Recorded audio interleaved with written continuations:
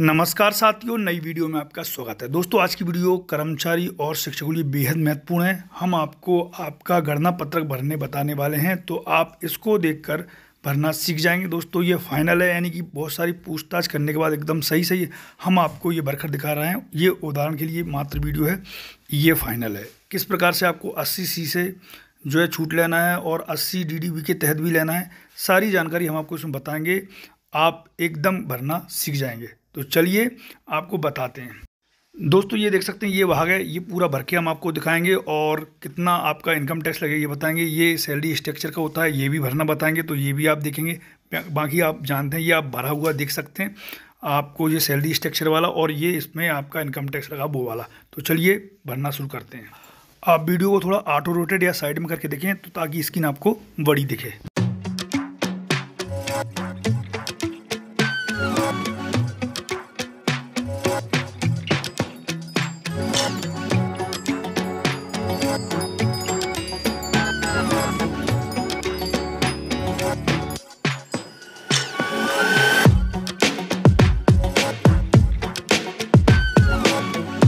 Last में 212 आ गया।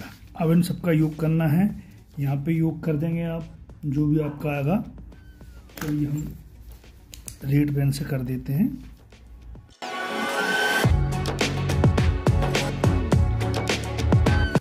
चलिए, उसके बाद यदि आपको कोई एरियर मिले हैं तो एरियर यहाँ पे आ जाएगा आपकी जो ग्रोथ सैलरी है उसमें ये, दो मिले हो, तीन मिले हो, एक मिले हो।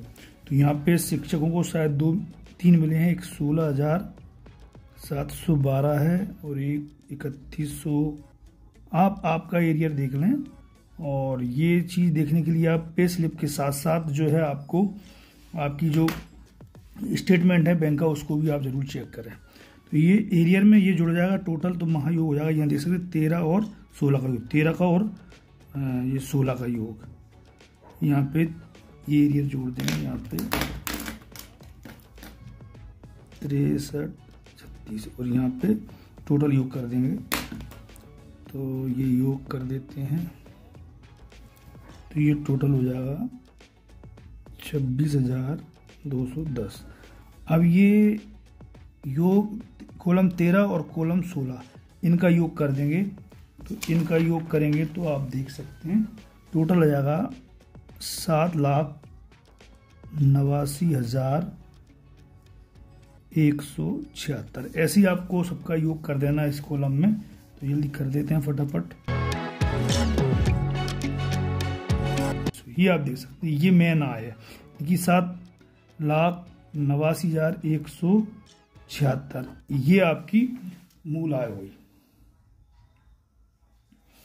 चलिए, अब इसको इस साइड देख लेते हैं। आप देखेंगे कि जो आय हमने देखी है, वो टोटल हो रही है सात लाख नवासी हज़ार एक सौ छिहत्तर। और यही आय जो है परिणामी में जाएगी परिणामी राशि में जाएगी सात लाख नवासी हज़ार एक सौ छिहत्तर। यानी कि आपकी वार्षिक आय है आप गृह संपत्ति से आए नील है, इससे भी आए नील कारोबार से, पूंजी भी नील ये भी नील है तो ये जुड़ के वापस से यही सात लाख नवासी हज़ार एक सौ छिहत्तर और यही परिणामी राशि में जाएगी सात लाख नवासी हज़ार एक सौ छिहत्तर। अब विशेष ध्यान दें आप। वृत्ति कर आपको घटाना है पच्चीस सौ रुपये अब गृह वाड़ा भत्ता यानी कि एच आर आपका हो रहा था चौवन सौ बहत्तर रुपये यदि आप किराए के मकान में रहते तो यहाँ आपको घटाना, नहीं तो आपको जो ये नहीं घटाना है। क्योंकि फिर उसकी रसीद वगैरह चाहिए रहेगी वर्दी भत्ता यही नहीं, अनुसूचित भत्ता बच्चों की फ़ीस इसमें नहीं आएगी। स्टैंडर्ड डिडक्शन ये है और होम लोन का आपका जो ब्याज है, वो आप देख लें। वो उस पर भी हमने एक वीडियो बना रखी है, बनाएँगे।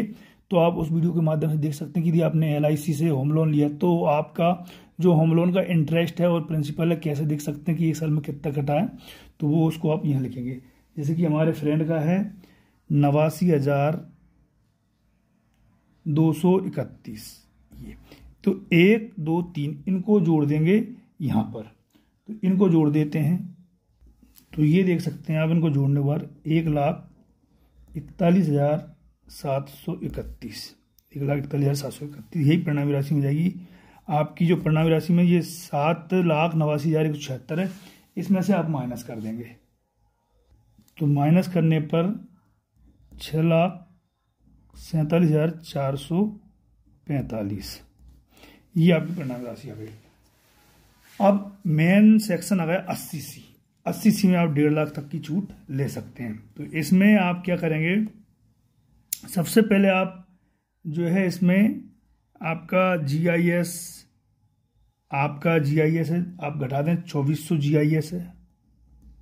और उस पर टिक लगा दें ताकि पता चलेगी किसमें एल आई सी इस पर टिक लगा दें। आपकी एल आई सी की जितनी की पॉलिसी है वो लिख दें। तो हमारे फ्रेंड की एक लाख पाँच हज़ार छिहत्तर रुपये। एक लाख पाँच हज़ार पाँच सौ छिहत्तर रुपये की है। और अब यहाँ पर बच्चों की फ़ीस लग सकते हैं। तो हमारे फ्रेंड की बच्चों की फ़ीस है इक्कीस हज़ार दो सौ चालीस। बस ये चीज़ आप देख लें। ये बच्चों की फ़ीस हो गई ये वाली और ये हो गया। और अब इसको आप योग करना चलिए योग कर देते हैं।